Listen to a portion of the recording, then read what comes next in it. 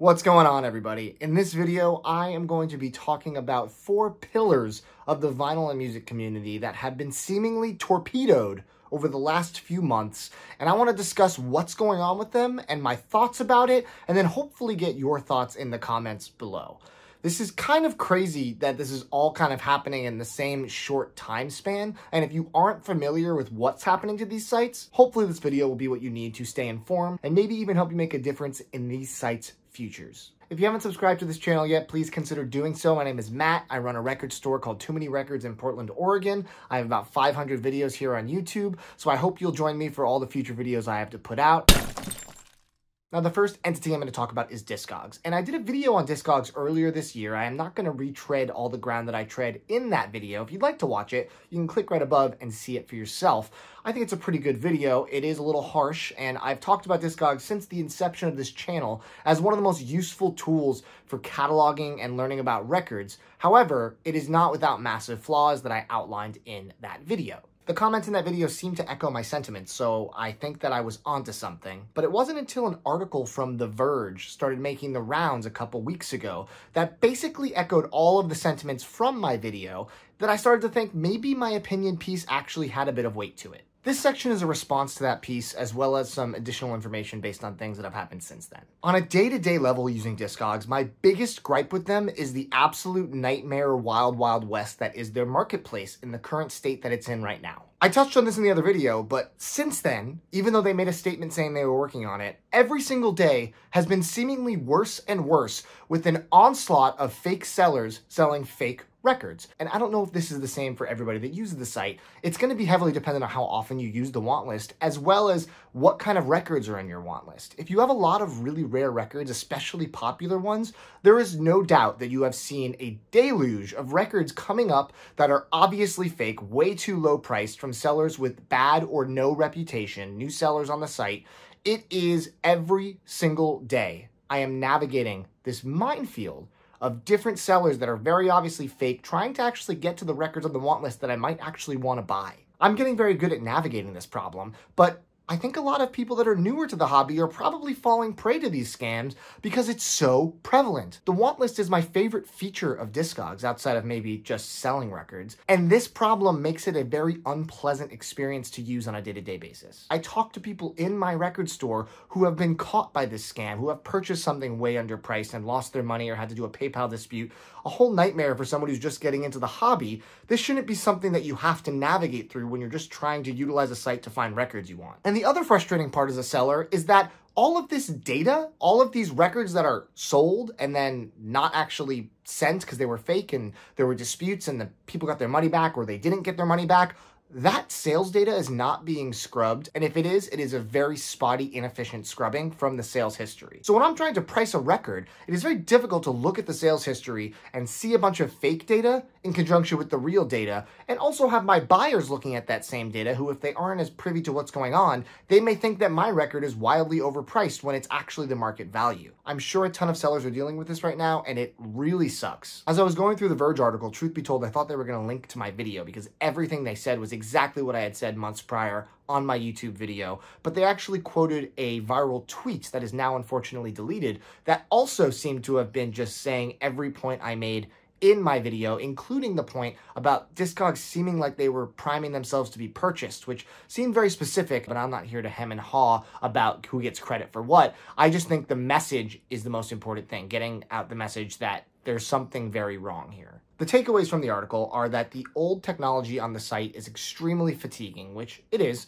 I hope they're making some strides to make it a little more updated, but haven't really seen anything drastic yet, other than a seller tool to help you raise and lower your prices in bulk, which is something that I said we needed in my video, so maybe that was a direct response to that. The thing I didn't mention in the last video about fees being upped to 9% is that they're also dipping on the shipping, which I don't think any other site does that. It feels very offensive and it feels like it's an attack on sellers to dip your fee into not just the sale price, but the shipping price of the item. Their initial response to that was to tell sellers to offer free shipping to get around that. I don't even have the words to describe how insulting that is. And finally, this happened not that long after my video and I had very strong opinions on it and I wish I had a screenshot, but I don't have it anymore. They were doing a summer flash sale, their first ever, I don't know, it seems to be a little similar to NASDISC's flash drops that they do. Maybe uh, they were taking note from the competition. But that being said, the flash sale was to highlight independent sellers on the site, give discounts across their store to allow people to get great deals at those sellers' Discogs pages. Great in theory, right? Every store featured in their initial flash drop were some of the largest stores on the platform. The worst of which, the biggest offender, was a sale for Pop Market. Pop Market is literally a cancer for small record stores. They buy in such bulk, almost as if they're Amazon, and no one could ever compete with the prices that they offer for distro. Stores will get beat out left and right just because of how much money they have to throw around as a mega corporation compared to your average record store. That's part of the reason why my store doesn't even do distro. How do you compete with a monolith like that? Well, Pop Market was one of those independent sellers they were featuring, and every seller on the list was just as large and didn't really need the exposure as a store like mine or any other small store that utilizes Discogs to help their business. This felt like a complete slap in the face. I feel like they completely missed the plot. It was very, very frustrating and ultimately embarrassing to see that unfold. So Discogs isn't dying necessarily, but it certainly is not thriving. With the scamming being so rampant, I don't know what they're going to do to combat this. I can't imagine why Discogs is not doing something in a larger way to combat this thing that I'm seeing every single day with different sellers and the same records. I'm not sure what the future of Discogs holds for buyers and sellers, but as of now, I am not super optimistic. Let's talk about QRATES. QRATES is a crowd-funded vinyl platform. I have been using them for a very long time. With my record label, I have done 15 completed projects with them. I've had an amazing experience up till this year, and every product I've received from them has looked and sounded fantastic. My last three projects are all wrapped up, totally funded, and as of this video, I have absolutely no information as to if and when they are shipping. The oldest unshipped product is 10 months old, my Neutral Milk Motel release. And whether it's the customer support or the actual email chain that I am on with some of the higher ups in QRATES, because I've been with them for so long, I have some of those contacts, nobody is giving me a straight answer. All they could do is redirect to a generic form response or tell me that there was a hack something got hacked with their shipping logistics provider and that's all they're saying. They can't even give an estimated time frame as to when these are shipping. And as you can imagine i have people that purchase the records as well as the artists asking me for information on almost a weekly basis. I don't have the information. I'm trying to get it. I got nothing. Now i thought you know what? They're going to figure this out. This is just a delay.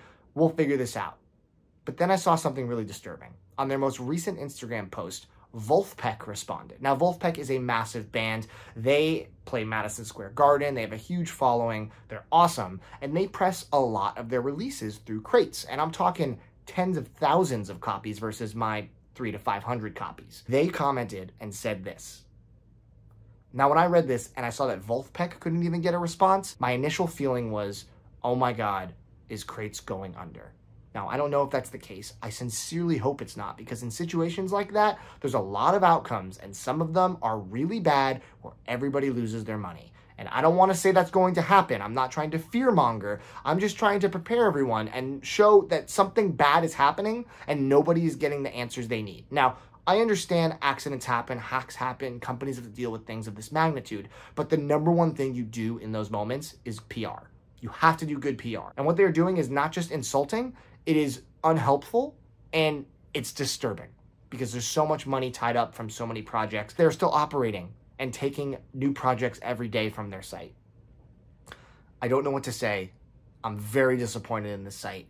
And I just want to say be careful if you use them moving forward until they come out with some kind of massive apology and actionable change from what's been currently happening. I don't know if that's going to happen. And if that doesn't, I don't know if I can, in good conscience, work with them moving forward with my label. But my biggest hope is that everybody who's ordered my last three releases get the records and the artists can appreciate what I tried to do for them. And I hope that QRATES doesn't really just go under the way I think there's a chance they might be.